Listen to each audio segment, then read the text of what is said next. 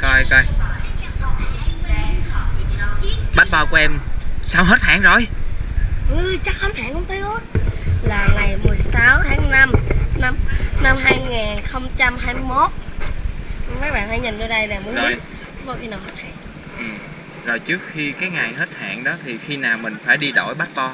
Trước 6 tháng chúng ta hãy đi đổi bát bò bởi vì sao?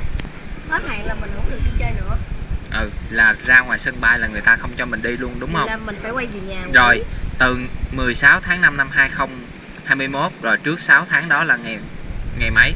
Ngày trước 6 tháng đó là ngày 16 tháng mấy? ngày 16 tháng 5 năm 2016 trước 6 tháng của ngày 16 tháng 5 năm 2021 là tháng mấy?